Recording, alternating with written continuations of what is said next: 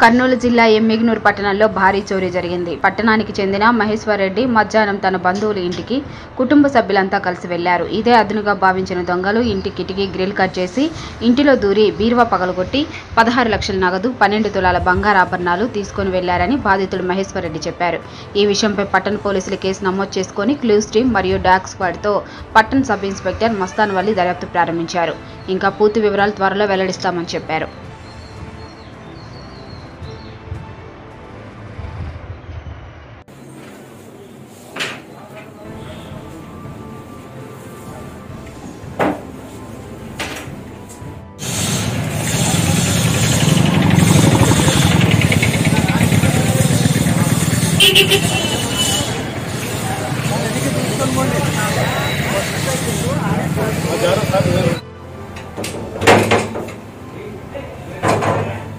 మీరు ఓనర్ ఇక్కడ రెడీ మీరు రండి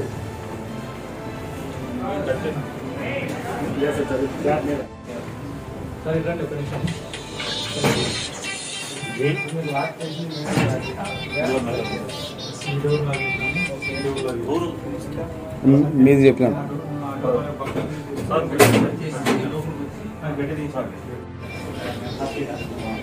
నా పేరు మహేశ్వరరెడ్డి నగర్ అదే మీ నెలకి వెళ్ళిపోయినాను మధ్యాహ్నం ఒకటి ఒకటి నలభై ఐదుకి ఫోన్ వచ్చింది. బయట గిల్లు కట్ చేసి లోపల వాకిలి తాళం పలగొట్టి లోపల బెడ్రూమ్ తాళం పలగొట్టి బీరువాని పలగొట్టి పదహారు లక్షల క్యాష్ పన్నెండు తొలలు బంగారు ఎత్తుకెళ్ళారు మహేశ్వరరెడ్డి నగర్ ఎమ్మెల్యే.